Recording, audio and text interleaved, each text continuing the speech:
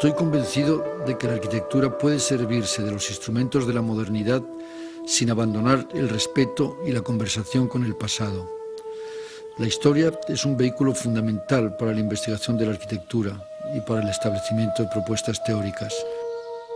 A mi juicio, el Museo de Arte Romano de Mérida conecta con el pasado y se refiere a la arquitectura histórica tanto como a la contemporánea y por ello suscitó tanto interés.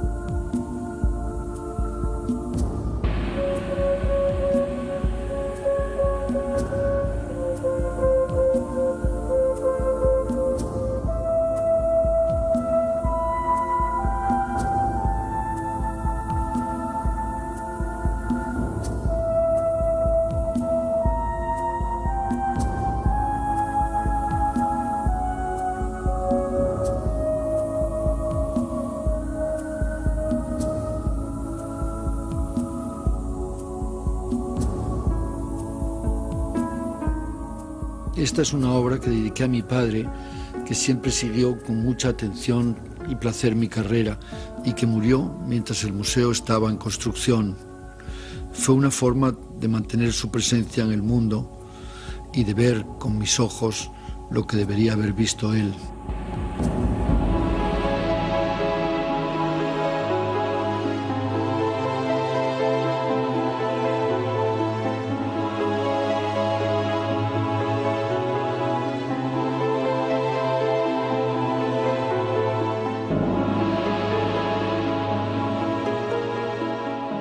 Siempre me emociona el, volver a Mérida.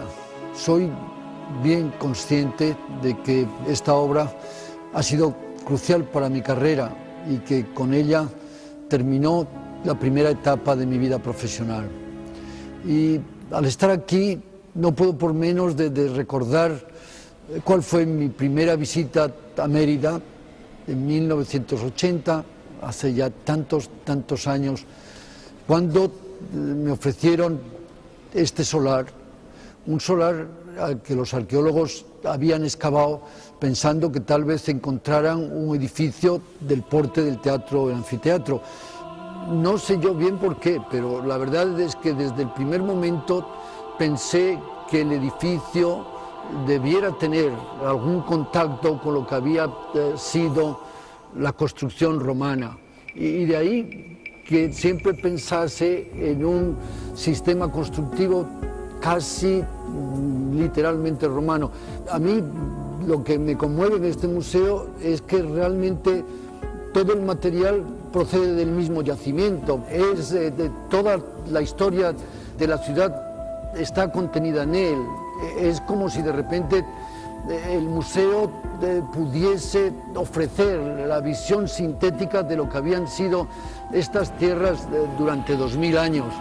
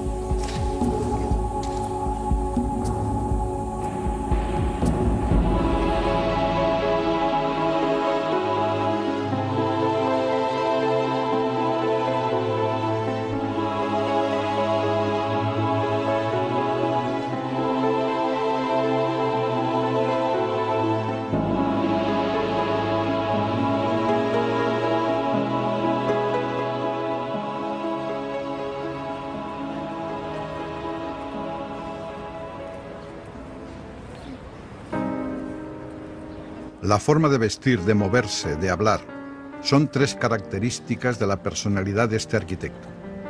Rafael Moneo presume de haber lucido, tal vez, algún abrigo de cachemir que hace tiempo sacó con un gancho por 5 dólares de las cestas del Ejército de Salvación en Nueva York. Allí se encuentran las prendas exquisitamente ajadas que donan los multimillonarios. Jugar a vestirse así, a mi juicio, lo eleva a la máxima categoría de la elegancia, aunque solo fuera para divertir a Belén, su mujer. Su forma de moverse se desarrolla en dos espacios. Moneo es un ser agónico de aeropuerto. En una semana puede habitar en Chicago, Estocolmo o Milán, donde quiera que se esté construyendo simultáneamente su obra. Dice que si uno cambia de sitio parece que no se repite, y lo hace con la misma naturalidad con que en su estudio de Madrid se traslada de una a otra habitación y se asoma sobre la cabeza de cualquier ayudante para inspirar o vigilar el proyecto que están haciendo en el tablero o en la pantalla del ordenador. Los pasillos de las cuatro plantas de su estudio de Elviso, un hotelito ya muy fatigado, dan a tabucos y espacios cegados, llenos de escombros de maquetas y tubos que contienen innumerables proyectos y concursos perdidos o ganados y que tal vez se quedaron en sueños. Rafael Moneo, nacido en Tudela, habla como lo hacen los universitarios anglosajones de alta escuela, como si el pensamiento fuera engendrando las palabras con un esfuerzo dubitativo, balbuciente, muy sofisticado, aunque conozca el problema de memoria. Quien le escucha percibe que dentro del cerebro de Moneo bullen varias opciones y él trabaja para elegir la más atinada a su voluntad de convicción. Por eso al hablar a veces aprieta los puños y cierra los ojos con un impulso hacia adentro, más de confesor que de maestro. Y a veces se cubre el cráneo con la mano para que las ideas no escapen. Moneo usa mucho la palabra coraje, sin duda muy adecuada a su personalidad ya que él se mueve siempre entre la polémica y el proselitismo. En ambas batallas se crece. Mientras tomamos una copa, le digo que su nombre siempre está elevado al cubo, a los cubos del Cursal, al cubo del Prado, y él se ríe echando hacia atrás el tronco. Moneo es un hombre próximo, cálido y didáctico, lo mismo en el sofá de su casa que en la cátedra de Harvard.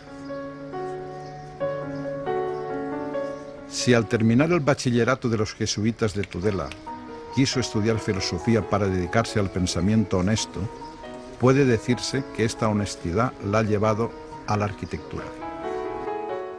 Desde su primer trabajo, una fábrica de transformadores en Zaragoza en 1963, hasta el cubo del Museo del Prado, la historia de Rafael Moneo es la creación de discípulos, la práctica del pensamiento honesto en arquitectura y la polémica.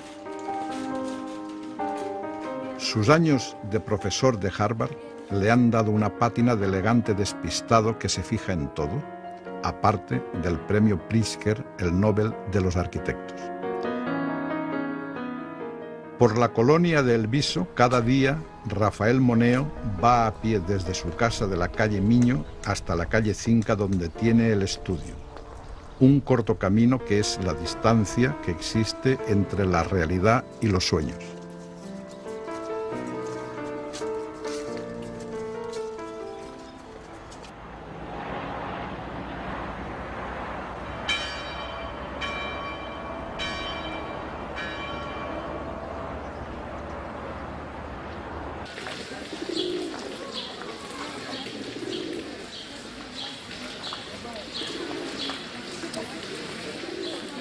Gusta trabajar en ciudades con carácter propio, sin importar el tamaño. El Ayuntamiento de Murcia está virtualmente generado a partir de la idea de fachada. Posiblemente el diseño de una fachada hermosa sea una de las tareas que más ponga a prueba a un arquitecto. Viendo la catedral enfrente, el Palacio del Cardenal a un lado, las oficinas municipales relegadas a una esquina de la plaza, me pareció que el nuevo edificio debía respetar el protagonismo de los edificios históricos, y al mismo tiempo hacer que el poder civil estuviera debidamente representado por la nueva construcción.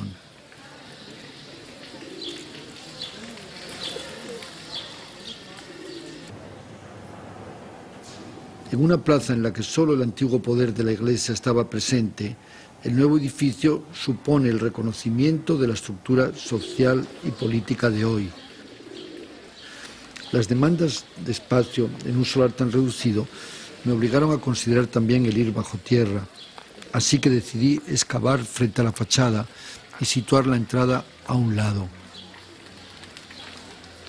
Entonces surgió la idea de hacer una fachada como una especie de retablo, una estructura pétrea a modo de pantalla. Esta fachada necesitaba expresar la dignidad de la institución y de ahí disponer el balcón principal, desde el que las autoridades asomen a la plaza, al mismo nivel que el balcón del Palacio del Cardenal Belluga. Recibí más tarde el encargo de repavimentar la plaza y diseñando el suelo recordé lo aprendido en las plazas de Italia. Una buena piazza es rara vez plana, evita siempre la horizontalidad estricta.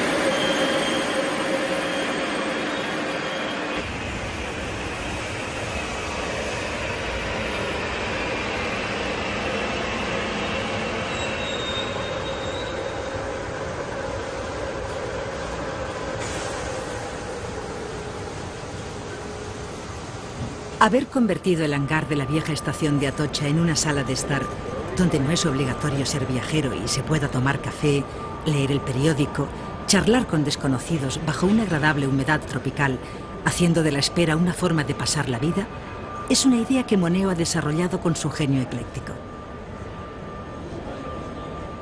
La glorieta de Carlos V es una de las puertas más nobles de Madrid. En el frontispicio cristalado de la estación de Atocha se reflejan de forma ideal jardines y edificios insignes. El Botánico, el Museo del Prado y del Reina Sofía, el Ministerio de Agricultura con sus aurigas. Despejar la plaza para que la luz del sur entrara directamente desde el campo a la ciudad como un pasajero más, siempre nuevo y recién llegado, y convertir la estación por dentro en un templo, a medias dinámico y estático, con cúpulas, naves, vestíbulos, tiendas, cafeterías y palmeras, donde uno pueda al mismo tiempo partir y quedarse.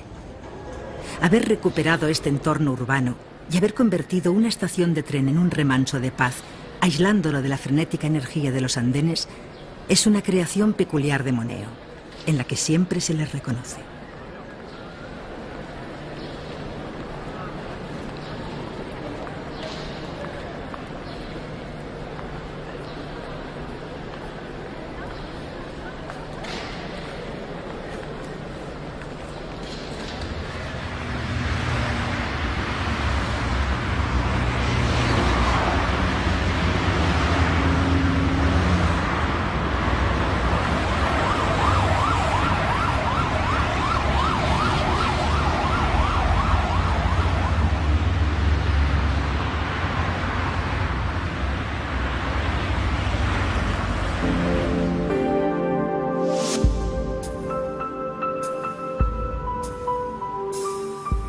El edificio de Banquinter, realizado por Moneo en colaboración con Ramón Vescós Domínguez entre 1973 y 1976, es un ejemplo paradigmático de cómo pudo haberse salvado el Paseo de la Castellana de Madrid, ya que esta construcción, que tiene un aliento escultórico, asume el palacio decimonónico del Marqués de Mudela sin dejar de ser una obra moderna adaptada a su función.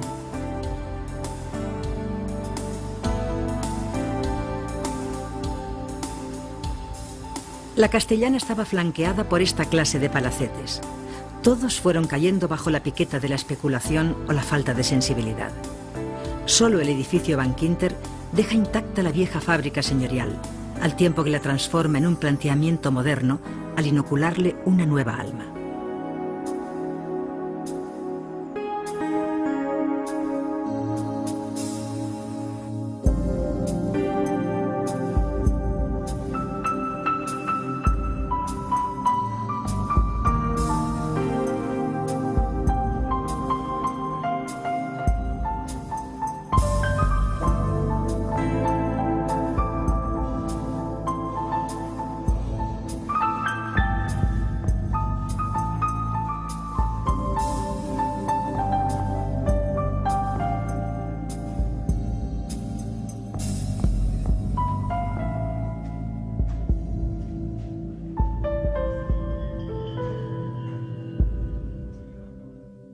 Habiendo estudiado en Madrid, llegado a Madrid el año 54, mi contacto con Barcelona se produce en 1970 a raíz de unas oposiciones celebradas en diciembre y que me llevaron allá como catedrático de elementos de composición.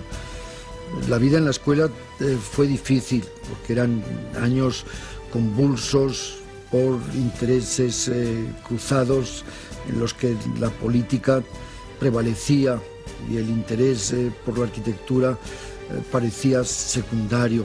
Pero tuve eh, la suerte de coincidir con un grupo de jóvenes, Elías Torres, Elio Piñón, Alberto Villaplana, Pepe Linás, Esteban Monel, tantos otros, que mm, a pesar de la situación social y política, comenzaban también a interesarse por lo que era el ejercicio profesional.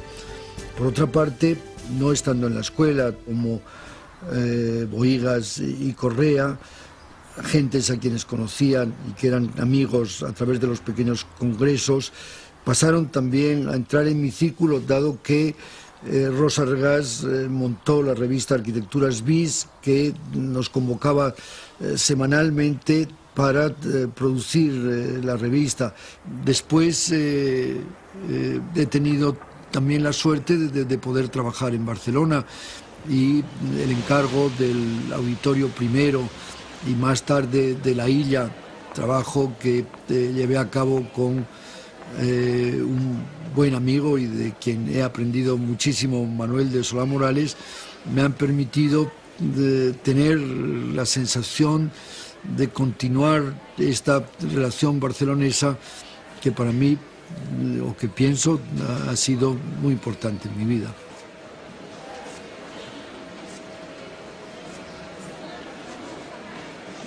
Este gran espacio en la diagonal de Barcelona, creado por Moneo y Manuel Solá Morales, más allá de su imagen del rascacielos tumbado, es una muestra categórica del ritmo interior que adquiere una construcción cuando se sirve del diseño para abrir sucesivos estados, adaptándolos al ánimo de la gente que transita por su ámbito.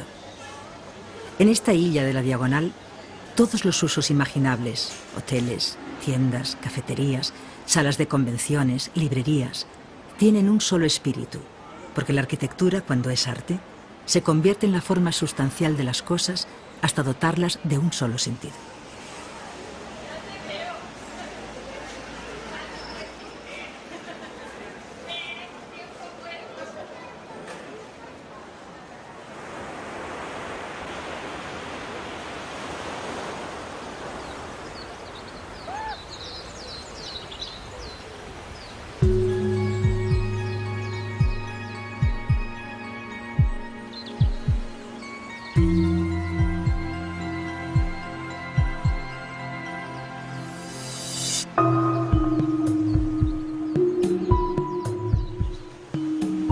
Fundación Miró, una vez más Rafael Moneo ha tenido que luchar contra un medio adverso, un barrio de Palma de Mallorca que ha ido creciendo convulsivamente hasta ahogar el estudio del pintor que levantó el arquitecto catalán Josep Lluís Sert en Sonabrines, a mitad de los años 50.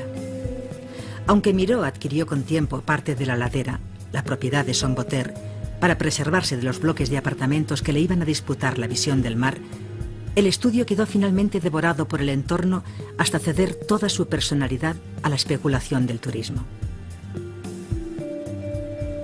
La creación de Moneo ha consistido en devolverle la primera inocencia a aquel territorio de Miró, olvidando la agresiva compulsión de alrededor. Y para ello ha fundado un espacio interior protegido por un muro que une las dos posesiones y que a la vez sirve de contención a la contaminación visual y acústica del exterior.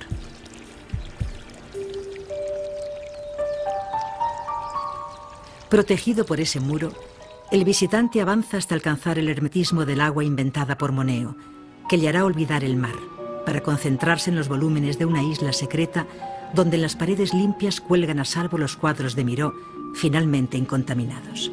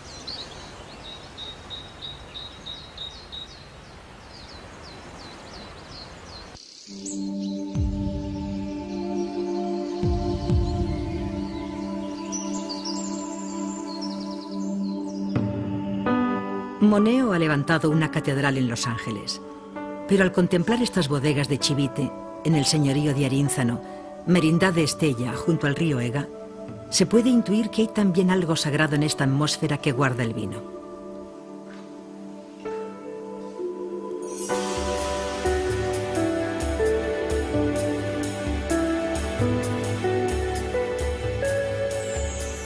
La quietud del tiempo reposado está en estos patios para la recepción de la uva, en las cinco naves cuadrangulares en las que se lleva a cabo su prensado y elaboración, en el pabellón en que se disponen los tinos, en la nave enterrada en que se alojan las barricas para la crianza.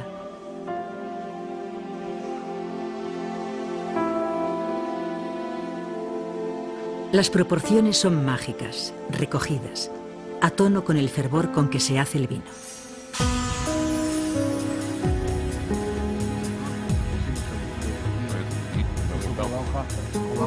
Todas las nuevas plantaciones El suelo parece eh, estupendo, ¿no? El suelo de... ha venido muy bien, además. Esta, esta dar, ha venido muy bien. A mí la otra cosa que me gustado ver es el, la puerta de entrada.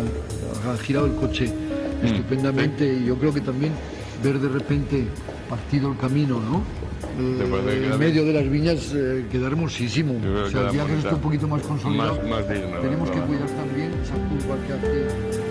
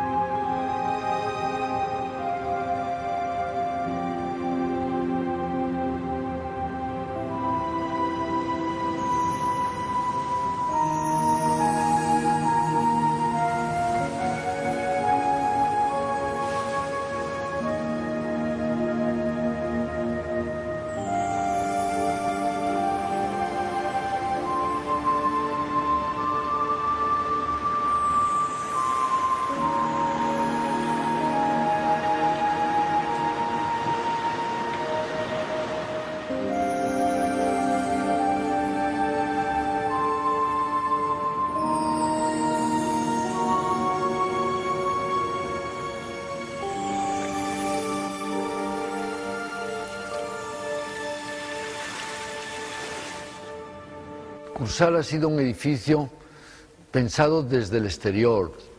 El Cursal tenía que decir algo, tenía que ser capaz de vivir en medio de este ambiente geográfico excepcional, en este marco que la naturaleza ha ofrecido a la ciudad tan hermoso. Pero la recompensa y el, regalo que la construcción del Cursal nos hizo ha sido su interior.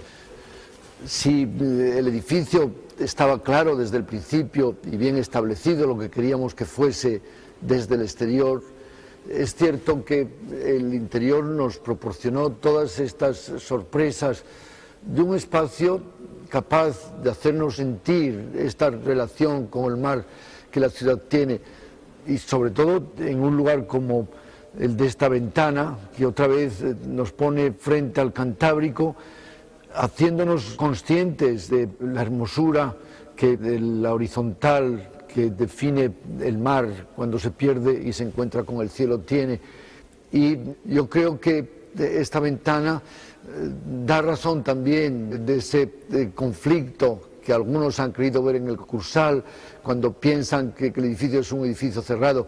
El edificio es, todo lo contrario, es eh, un homenaje a la naturaleza y de modo muy especial al mar.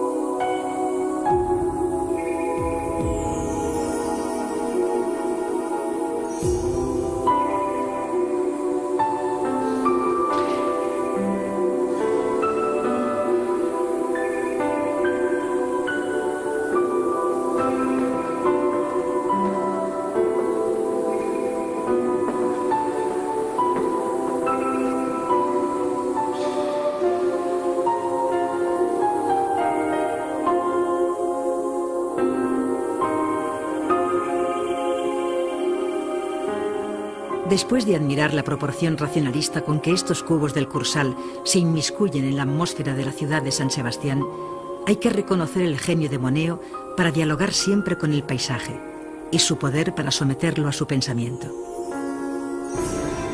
Rafael Moneo, maestro de arquitectos, ha hecho del eclecticismo una filosofía y de su forma de construir una dedicación al ingenio honesto.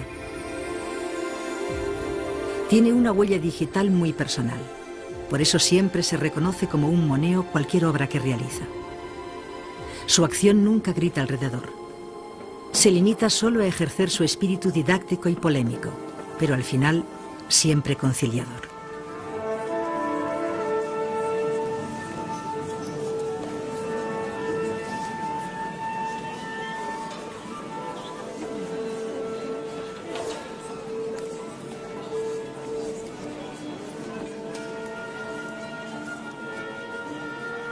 Doy gracias a la arquitectura porque me ha permitido ver el mundo con sus ojos.